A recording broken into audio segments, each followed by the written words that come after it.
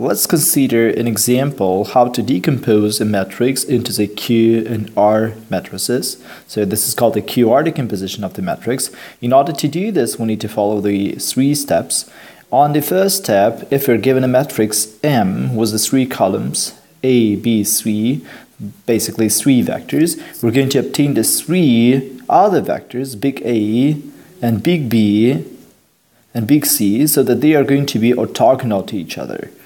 And on the second step, we're going to just normalize them. So on the first step, it doesn't matter what is the length of the A, B, and C, because on the second step, we're going to just normalize them. So basically, we're going to find a vector which is going to be in the same direction as the C, but it's going to be unit vector.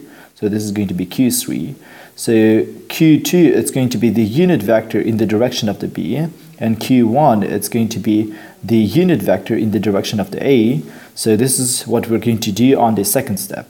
So this first and the second step is called the Gram-Schmidt algorithm. And on the third step, we're going to find the matrix R using this formula by just multiplying the Q transpose to the M. So let's say we're given the M with the three columns. The first column is 1, 1, 1. The second column is 0, 1, 1. And the third column is 0, 0, 1.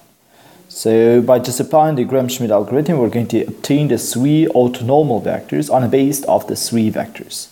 So the big A is simply equal to the small a, 1, 1, 1. So big B is obtained using this formula. So the B minus the projection of the B onto the A, which is going to be B minus A transpose to the B divided to the A transpose to the A multiplied to the A so which is equal to 0, 1, 1 minus, so the A transpose is a B, it means that I need to multiply this vector to this vector as a scalar multiplication, right? Or you can write this as a 1, 1, 1 multiplied to the B, which is 0, 1, 1. So divided to A transpose is A. So basically I multiply the A vector to itself as a scalar multiplication. And additionally, we have to multiply this to the A, which is 1, 1, 1. So let's simplify everything. It's going to be 0, 1, 1. If you multiply this vector to this one, you will need to multiply the first component with the first, second with the second, third with the third, and we need to add them.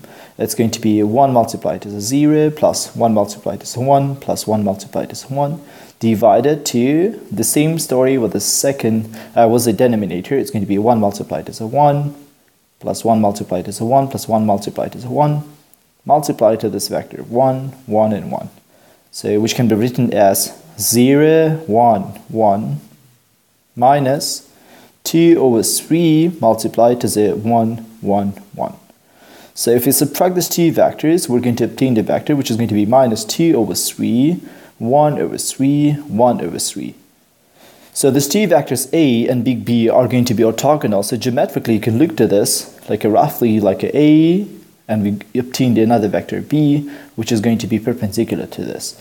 So on the third step, we need to find this vector C using the formula. It's going to be C minus the projection of the small c onto the A minus the projection of the C onto the B. And you see in this formula, so when we project the C onto the A and B, we need to do a lot of computations and it's going to be not so easy for us if we just use this numbers like a 2 over 3, 1 over 3, and 1 over 3. And maybe we need to just take this big B without this like a denominators. So the step, the, the basically the goal of the first step of the uh, of this algorithm is to obtain the perpendicular vector a and b and it doesn't really matter what, what is the length of this b. So you can take this b as a three times longer vector right?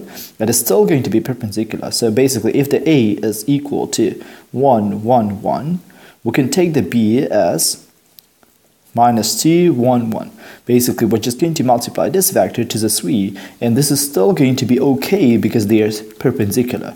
So on this, on, the, on this first step, we just need to obtain the two vectors or three vectors which are going to be perpendicular to each other independently of their lengths.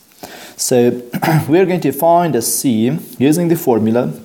So the c vector was equal to 0, 0, 1 minus the projection of the C onto the A, it's A transpose to the C divided to the A transpose to A multiplied to the A, minus the projection of the C onto the B, it's going to be B transpose to the C, B transpose to the B multiplied to the B. So let's do this. So it's going to be 0, 0, 1 minus A transpose, it's 1, 1, 1, multiplied to the C, it's 0, 0, 1, so divided to A transpose A, so that this vector multiplied itself is equal to the 3 simply.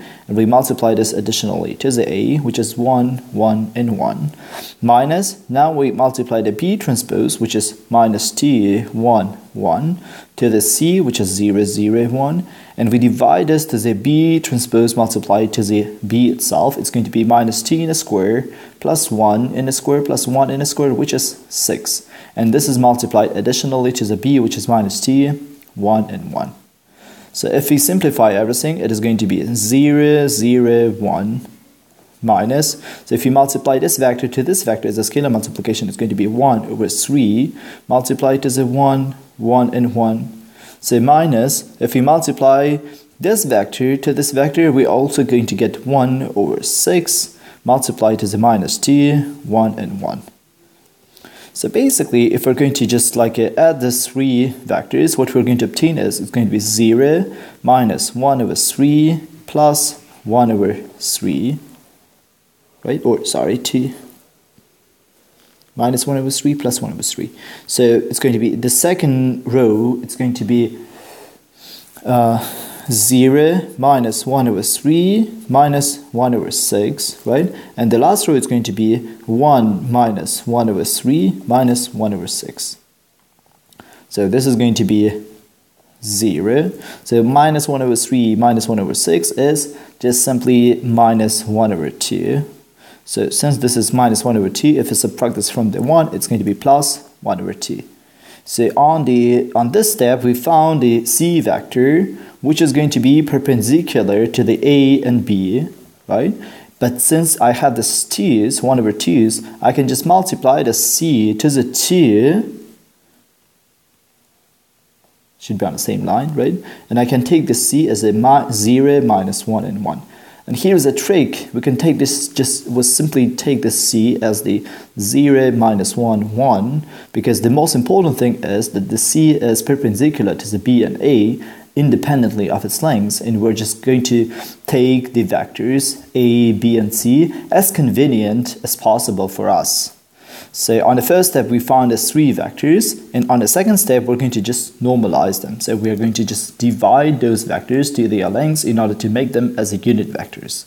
It's going to be q1 is equal to the a divided to the norm of the a. So since a is equal to the 1, 1, and 1, the norm of this vector a is found as the square of its components, the sum and the square root. It's going to be square root of 3.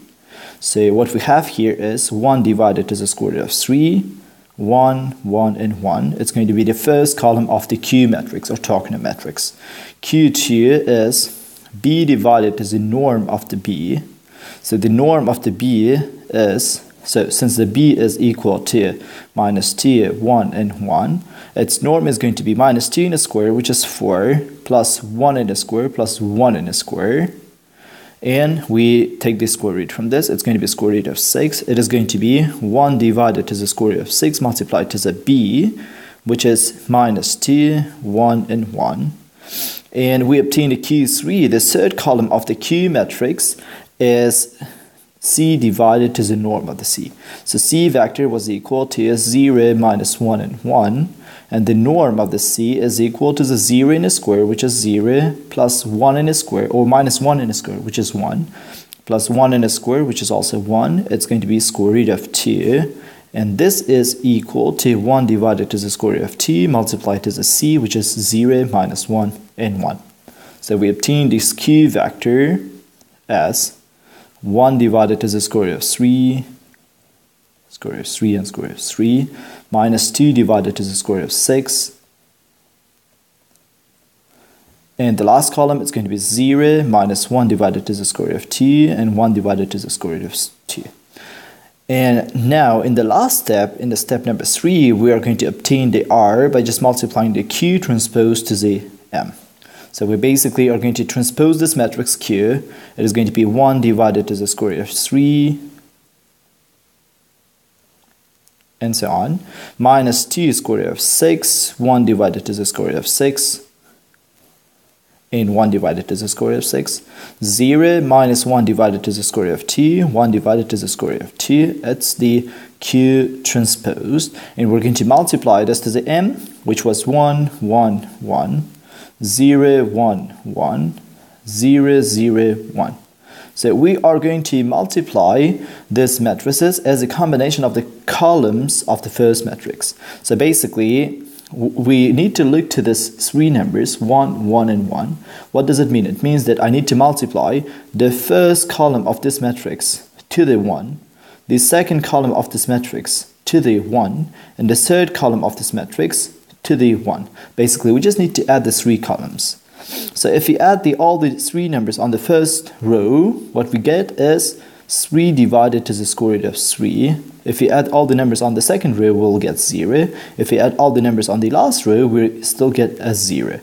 So the second column of this matrix are going to tell us the combination or the coefficients of the combination. We basically multiply the first column to the 0, second column to the 1, and the third column to the 1. Basically, we need to add the two columns and write this here as the second column of the resulting matrix. It is going to be this plus this, it's 2 divided to the square root of 3.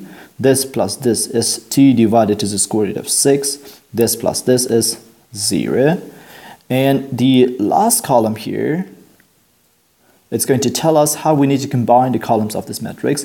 We multiply the first column to the 0, second column to the 0, and the last column to the 1. Basically, we just need to copy the last column to here. It's going to be 1 divided to the square root of 3, 1 divided to the square root of 6, 1 divided to the square root of 2, and this is our R matrix. So we obtained the Q matrix and the R matrix, and the multiplication of this Q matrix to the R is going to give us the M matrix.